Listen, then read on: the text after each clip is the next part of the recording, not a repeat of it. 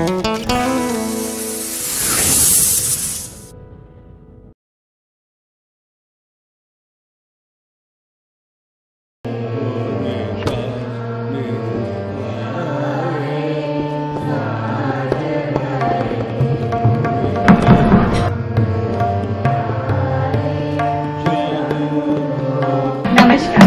गुरु जी है? है है क्लास कर रहा है। जी।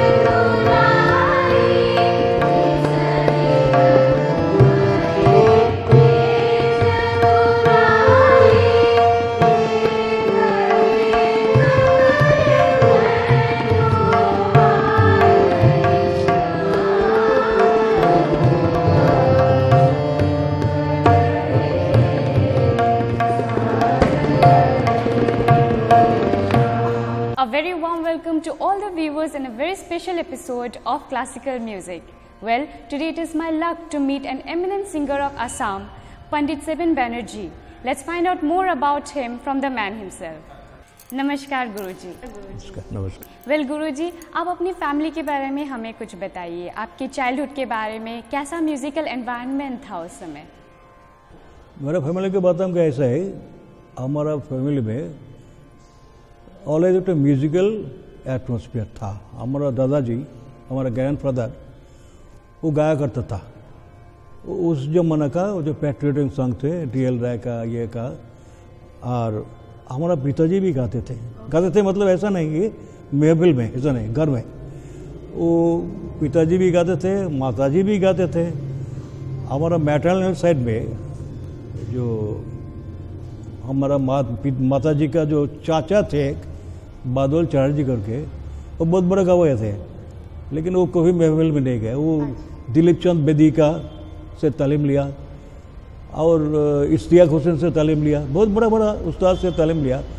लेकिन उसका पेशेंस नहीं था। यहाँ दो महीना यहाँ तीन महीने यहाँ चार महीना ऐसा करके। लेकिन बड़ा अच्छा भैंस था बहुत अच्छा। यहाँ का जो हमारा पंडित वीरेंद्र फगन था ना उनका साथ बहुत दोस्ती था। बहुत कहा करते थे। तो ऐसे ही छोटा से हम छोटे बचपन से हमारा घर में जो ग्रामोफोन बोलता था, जो रिकॉर्ड प्लेयर उस जमाने के ऐसे दम देने बोलता है हॉर्न होता है। मैं सुनता था, ये सब गाना पुराना जमाने का गाना था। ज़्यादा करके कृष्णचंद्र थे माना देगा चाचा, और डी एल का गाना, ये सब गाना गुनगुनाता था। ये हमारा फैमिली का बहुत सांगीतिक परिवेश था।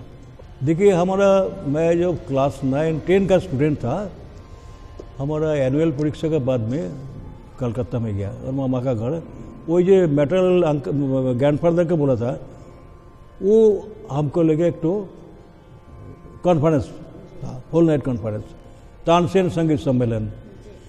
उस कॉन्फ्रेंस में बहुत सारे गाँव आए थे, लेकिन हमारा क्लासिकल गाना अच्छा नहीं लगता था। पहले बोले, ये क्या गाना चल रहा है? ये तो हमको अच्छा नहीं लगता है। वो कब आएगा? उस जमाने का मॉडर्न सॉन्ग गाने वाला था, सुधीर लाल चक्रवर्ती श्यामल मित्र का गुरु। तो वो लोग कब आएगा? अरे वो टिकट खरीद के घुसना पड़ेगा। इसी टाइम में रात को शायद साढ़े बजे एक बजे होगा, पंडित डी पैलेस हो रहा है। मैं पहचानता नहीं उस टाइम में। अरे वो गाना शुरू किया, अरे, मेरे दादू को पूछे, ये ये भी क्लासिकल है क्या? कहाँ, उसी टाइम से मैं क्लासिकल अरे क्लासिकल गाना भी तो अच्छा है। इस इसके बाद बाद में मैं कलकत्ता में पढ़ता था, जितना म्यूज़िक कॉन्फ्रेंस सब अटेंड किया होल नाइट सात रोज, कोई जगह पर तीन रोज। इसीलिए हमारा स्टडी भी बहुत हैम्पर किया है, लेकिन मैंने, उस टाइम से ही हमारा, लेकिन सीखने का मौका नहीं मिला। मैं तो मॉडर्न सॉन्ग गाता था, उस टाइम में, जब ये यहाँ का ज्योति संगीत है, भूपेंद्र का संगीत है नजरुल गीति है, रविंद्र संगीत मॉडर्न सॉन्ग ये सब गाता था। लेकिन एक दफ़े क्या हुआ, देखिए, हिंदी गान भी गाता था, मोहम्मद रफ़ी का। एक दफ़े एक तो फ़ंक्शन में गाने को गया था मैंने, उस समय सितार बजाते थे, हमारे रेल के ऑफिसर थे, डिग्बी साहब। फ़ंक्शन को हमको बुलाया, सुनो why why you are wasting your time and energy अब क्लासिकल में स्विच ओवर करो।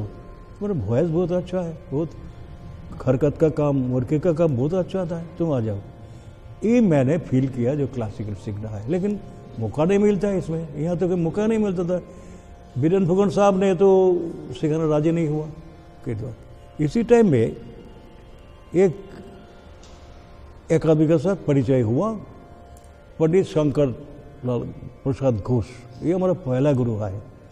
वहाँ से श्री गणेश किया है, लेकिन ज़्यादा नहीं। हुआ शायद दो तीन महीना एक दो तीन बंदिश सीखा। इसके बाद में यहाँ में थे एक मराठी महाराष्ट्रियन थे, पंडित डी आर उद्यभर उनके पास गया। थोड़ा दिन बाद उनका भी देहांत हो गया। इसके बाद में आसाम का मशहूर कलाकार पंडित हिरेन शर्मा के पास गया। उनके पास बहुत कुछ सीखा है, बहुत कुछ सीखा है उसका जो मतलब जो बलिया दिलिया गना का लिए जो खास चीज़ जो है, पलटा, सदन, शरद संजम, ये सब मैंने पंडित हिरेन शर्मा के पास सीखा है। उसके बाद में मैंने तो पतियाला खरना गाने का बहुत ही अच्छा तो पतियाला खरना के लिए मेरे गुरु हुआ था उस्ताद बरगल खास साहब के खास चेला, पंडित प्रसून बनर्जी, उनके पास गया। उनके पास भी लास्ट ट्वेंटी इयर्स मैंने तालीम लिया, बहुत कुछ सीखा। ये तो है डायरेक्ट तालीम लेना है। इनडायरेक्टली भी देखिए, पंडित चिन्मय लहरी से मैं डायरेक्टली कुछ तालीम ले लिया लेकिन उनसे बहुत कुछ चोरी किया मैंने। और को बताना हमारा पंडित जसराज उनसे मैं गाँव बहुत शौकीन हूँ। मैं बहुत कुछ कभी किया इनडायरेक्टली अच्छा। और किसी कोई आदमी का नाम बताना पड़ेगा। जो पंडित मुंबई में मिला हमको। बी आर आठवले क्या बताऊँ? ऐसा पंडित मैंने नहीं देखा है। बहुत कुछ सीखा उनसे। ये लोग डायरेक्ट इनडायरेक्टली बहुत ऐसा आदमी है। यहाँ था एक तुलसी चक्रवर्ती के पंडित तुलसी का। अभी नहीं है। सब देहांत हो गया। बहुत कुछ सीखा उनसे। इसलिए बहुत कुछ, बहुत ऐसा मैंने उस्ताद है डायरेक्टली नहीं सीखा। ये उस्ताद आमिर खान साहब, तब जगदीश प्रसाद, तब इसके बाद में था और पंडित एटी कानून, बहुत कुछ सीखा वो लोग से। मैंने मानना पड़ेगा। ये इसका बहुत इन्फ्लुएंस हमारा है। यहाँ हमारा इतिहास है। इसके बाद मैं रेडियो में ऑडिशन दिया। प्रोग्राम मिल लिया। गाता रहा नाइनटीन सेवेंटी सेवन से। अभी तक गा नहीं सकते हार्ट का प्रॉब्लम के लिए गाना मना है डॉक्टर ने मना कर दिया। यही चलता आपको इंस्पिरेशन कहाँ से मिली क्लासिकल म्यूज़िक की? और क्या आप हमें अपने गुरु जी के बारे में बता सकते हैं कि आपने किन से सीखी है किन्होंने आपने सिखा आपको सिखाया है? हाँ यह तो क्या हूँ देखिए हमारे गुरु जी थे जो पंडित प्रसून बनर्जी का नाम बोला। ऐसा दिल खुल के सिखाया क्या बताऊँ। मैंने जो खास खास चीज़ है, संगीत का, कैसा रिवाज करना है, कैसा बढ़ना है, सिलेक्शन राग, कैसे फ़ंक्शन में करना है, ये चीज़ और कुछ बात मैं यहाँ बताता हूँ। बहुत कुछ बात उन्होंने बताया जैसा चाराना सीखना चाराना उस जमाने का, आजकल का पच्चीस पैसा है चाराना सीखना चाराना रिवाज करना चाराना सुनना और चाराना सोचना। ये बहुत खास बात है, क्योंकि सीखता है तो ठीक है, रिवाज करो ठीक है, लेकिन सुनना ज़रूरी है। जो आजकल का ज़माना में नहीं होता है, सुनना पड़ेगा। आप जैसे प्लेयर अच्छा प्लेयर बोलने से अच्छा अच्छा खेला देखना पड़ेगा आपको। क्रिकेट में बैट्समैन कैसे बैट करते हैं, कैसे बॉल करते हैं, ये सब ज़रूरी है। और सोचना, सोचने का मतलब क्या है? मैंने जो सीखा है, इसको कैसे मैं प्लेस करूँ? कैसे पेश करूँ मैं? कौन ढंग से? कौन ढंग से उनसे इम्प्रेसिव होगा? ये सोचने का काम है। ये सीखना और सुनना और सोचना, ये बहुत बड़ी बात है। जैसे हम बताता हूँ मैं बहुत सोचता हूँ। कोई कोई है, ऐसा सवाल पैदा होता है हमारे बारे में, जवाब नहीं मिलता है। वो बॉम्बे जो जिसके बात बोला रहा बी आर वाले उनसे पूछा और समझा दिया हाँ तब हमारा मन में चैन आया नहीं तो अरे एक ये होता है ये कहाँ से होता है? ये बैड हैबिट है हमारा। ऐसे लेकिन होना चाहिए होना चाहिए। चलता है। और? Well apart from classical music ये देखा गया है कि आप रविंद्र संगीत ठुमरी नजरुल इनमें भी काफ़ी इंटरेस्ट लेते हैं और आप काफ़ी गाते हैं। उनके बारे में ज़रा कुछ बताइए कि कहाँ से सीखी है आपने या कैसे इंटरेस्ट आया है? ठुमरी तो मैंने गुरु जी से सीखा है। रविंद्र संगीत सिखाई यहाँ एक बहुत बड़ा अच्छा विख्यात कलाकार थे आए नहीं अभी। चित्तोतोष बनर्जी। रविंद्र संगीत मैंने उनके पास में सिखाया। बहुत अच्छा गाते थे। और नजरुल गीति और आधुनिक सुन के सब record record notation, modern song जो मैंने करता था, वो रिकॉर्ड से सुन के मोहम्मद रवि का रिकॉर्ड से सुन के श्यामल मित्रा ये सब ज़्यादा गाता था उस टाइम में। क्लासिकल में स्विच ओवर करने के बाद भी थोड़ा दिन गया, अभी नहीं गया तो अच्छा नहीं लगता वो। कि वो तो उसका कोई स्कोप नहीं है। क्लासिकल में जो स्कोप है, आप मैंने आपका बहुत इंडिपेंडेंस है, लेकिन एक तो बात है डिसिप्लिन ऐसा नहीं, जो कुछ करना है, वो डिसिप्लिन आके आप जब कुछ कर एक क्लासिकल का ये कमाल है, आपको डिसिप्लिन जैसे कि डिसिप्लिन एक तो राग का क्या क्या स्वर लगता है इसका सिलसिला क्या है कौन सा स्वर में ज़्यादा रुकना है ये सब राग के आप जो कुछ कर सकते हैं जो दूसरा गाना में नहीं है, है? इसीलिए आप आज मैं गाऊं एक राग काल दूसरा टाइप होगा होना चाहिए। सेम ट्रेन है मैंने प्रोटोटाइप नहीं है जो आज होगा वो नहीं तो नहीं। आज जो गाया काल थोड़ा अलग गया दूसरा ढंग से गया अलग हो गया। ये ईमोन है राग पहले ईमोन गाता था ईमोन में रेडियो में तीन चार दफे गाया फिर भी आई एम नॉट सेटिस्फाइड और कुछ दूसरा ढंग से होने सकता है। ऐसा ही, क्योंकि और एक तो बात बोलता हूँ, बड़े गुरुजी ने बोला, एक तो बात है कि don't be satisfied with your song को भी सेटिस्फाइड नहीं होना चाहिए। अगर सेटिस्फाइड है, तुम खत्म। हम ये और खाए, और आगे बढ़ना आगे बढ़ना। इसके बारे में एक तो बात करते हैं, पंडित रविशंकर। वाह वाह, इतना बड़ा कलाकार। पंडित रविशंकर का एक तो इंटरव्यू था बीबीसी में। उससे बहुत सवाल पूछा, लास्ट में एक तो सवाल पूछा कि आप तो दुनिया का सब जगह में प्रोग्राम किया है एक्चुअली किया है वर्ल्ड का सब जगह में प्रोग्राम किया आपका आपका विचार से कौन सा प्रोग्राम बेस्ट है? बेस्ट है। तो सोचा, थोड़ा सोच के बोला, देखिए गुड बेटर बेस्ट ऐसा कोई प्रोग्राम को याद नहीं आता है जो गुड बोल सकता हूँ। क्या बात देखिए पंडित रविशंकर जी, ऐसा एक है। दूसरे बात बोलते हैं, उस्ताद बड़े गोलम लिखा का बस मैंने एकदम ही गया था गुरु के साथ। तो ऐसा देखने का ऐसा था। गुवाहाटी में आए थे दो तीन बार। तो मैं प्रणाम किया उसका। क्या देखने को आया है? अरे उस्ताद जी, आपको। मैं क्या ताजमहल हूँ? नहीं आप कितना बड़ा उस्ताद है हिंदुस्तान के। उस्ताद के बाद छोड़ो अभी साठ ही से नहीं लगता हमको। ठीक है क्या बड़प्पन है। लेकिन हमारा जो है, थोड़ा सीखने के बाद मन का उस्ताद बन जाता हूँ। उस्ताद नहीं है, अपने मन का उस्ताद। ये ठीक नहीं है।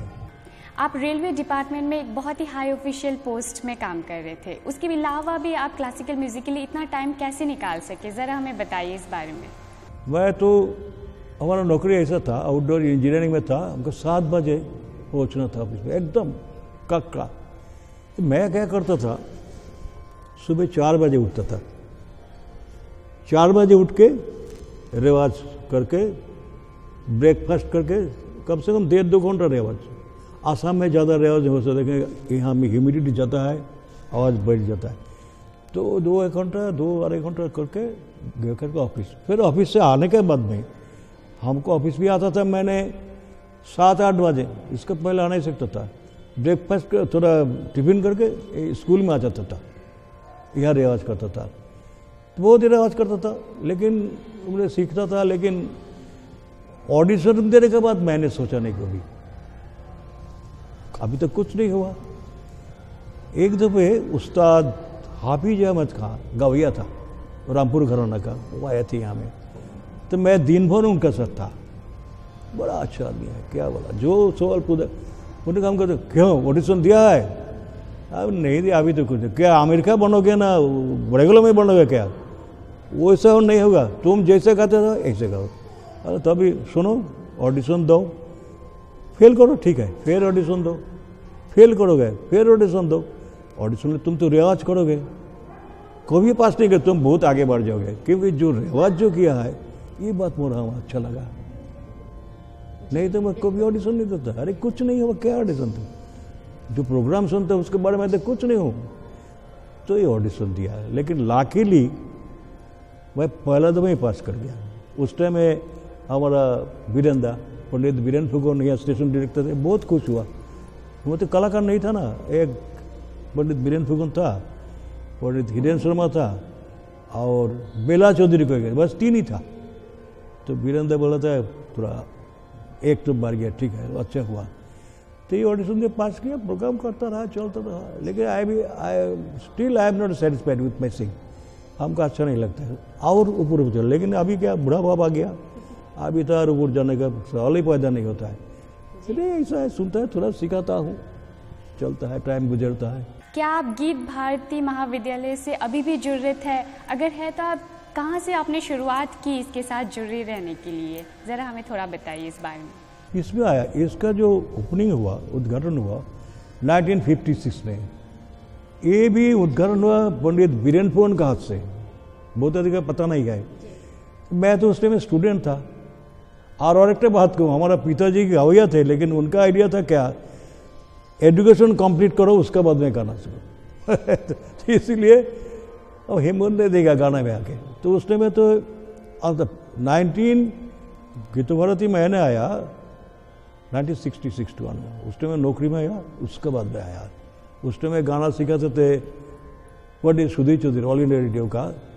उसके बाद में तो आया, सिलसिला चला आपका डी आर उदय भराया। और पंडित हिरेन शर्मा से मैंने प्राइवेटली सीखा। है गीत भारती से मैं सिक्सटीन से जुड़ा हूँ जब तक ज़िंदा रहूँगा उसके साथ मैं हूँ मैं जब तक। गुरुजी आप एक एमिनेंट पर्सनालिटी है अखिल भारतीय गंधर्व महाविद्यालय में और आपने काफ़ी स्टूडेंट्स को वहाँ से सिखाया है। ज़रा कुछ वाक्य या फिर आपको अगर कोई स्टूडेंट्स याद आते हैं जिन्होंने बहुत अच्छे से सीखा हो आपके अंदर? इसमें देखिए जितना पास किया उसमें बॉबी भट्टाचार्य जी का हाँ ये है वो है। टुक टुक भट्टाचार्य जी ऑल इंडिया में फ़र्स्ट क्लास फ़र्स्ट आई थी। अच्छा। ये है श्यामली चंद है वो एक्चुअली रविंद्र संगीत गाते हैं। वो है मुनीद है वो काशीट गाता है। ये शुक्ला मेनन वो रविंद्र सिंह गाते थे। अरे ये सब नया है रश्मि रेखा। है और है बहुत जो यहाँ नहीं आए मौसमी सेन करके है वो कलकत्ता है गाती है। वो आजकल गिरिजा देवी से सीखती है। अच्छा गाती है। और एक तो हमारे स्टूडेंट है पियासी सेन गुप्ता वाला। है स्टूडेंट है सुशांत चौधरी का बहुत अच्छा गाते हैं। हाँ सब सब अच्छा गाते हैं। सारी अच्छी जगह। हाँ। अगर मैं आपसे पूछूँ तो आप क्या बताएँगे कि आपको कौन से आर्टिस्ट इन्फ्लुएंस करते हैं? पहले बॉलीवुड की हो या क्लासिकल म्यूज़िक फ़ील्ड से हो कौन कौन से आर्टिस्ट ने आपको सबसे ज़्यादा प्रभावित किया है? एक्चुअली नाम तो बहुत बताना पड़ेगा लेकिन सबका देखिए, हमारे गुरुजी ने बताया, सबका गाना सुनो। उस पर जो जो अच्छा चीज़ है, वो चुन लो। जैसे कि मैं बताते हो, अभी पंडित जसराज का गाना बहुत बहुत अच्छा लगता है, बहुत अच्छा। नया जमाने का। पुराना जमाने का उस्ताद भरेगला अली उस्ताद आमिर खान साहब, उस्ताद अब्दुल गनी खाई बड़ा बड़ा कलाकार, ऐसा बनेगा नहीं कभी। उस्ताद अब्दुल करीम खा, पंडित भीमसेन जोशी सब किसका नाम बताओ लेकिन मेनली मैं जो इन्फ्लुएंस्ड हुआ, उस्ताद भरेगल वाली से, मेरा गुरु से, मेरा गुरु बहुत अच्छा गाए थे, गुवाहाटी में बहुत दिन आए थे तो उनसे खास करके पंडित जसराज से, उनका गायटी बहुत अच्छा है। मैंने उनका गाने में क्या एक तो खास चीज़ है, इमोशन। गाना में अगर इमोशन नहीं होगा, भाव नहीं होगा तो क्या हो तो बेकार है। उनका गाना में इतना अच्छे मुझे उसका आलाप सरलाप वाह क्या बात। मैंने बहुत इम्प्रेस्ड हूँ मैं। अगर देखा जाए तो आप बहुत पहले से म्यूज़िक सीखते आ रहे हैं तो उस जमाने की म्यूज़िक और इस जनरेशन के म्यूज़िक में क्या अंतर नज़र आता है आपको? मॉडर्न के बारे में बताने से आजकल जो म्यूज़िक है ये एक गाना नहीं है। मैं बोलता हूँ जी यू एन गान है। मैक्सिमम अच्छा गाना भी इसमें आता है, कोई कोई अच्छा गाता है, लेकिन जो चालू है, उसमें गाना नहीं है। अमेरिका से बुरा करते हैं, जिसमें सुर है, वो संगीत है। सुर होना चाहिए। जैसे लता मंगेशकर, वो तो मॉडर्न गाती थे, गाती है अभी भी। आपका आशा भोसले, मोहम्मद रफ़ी, ऐसा गाने वाला नहीं है अभी। किशोर कुमार थे, मानना दे थे। वो गाना में सुर था। आजकल ये जो लता मंगेशकर बताता हूँ, सुर नहीं, शोर ज़्यादा है। आजकल का गाना में सुर नहीं है, शोर ज़्यादा है। तो जिसमें शोर है वो गाना कैसे हो सकता है? लेकिन फिर भी कोई कोई अच्छा गा लेता है अच्छा है।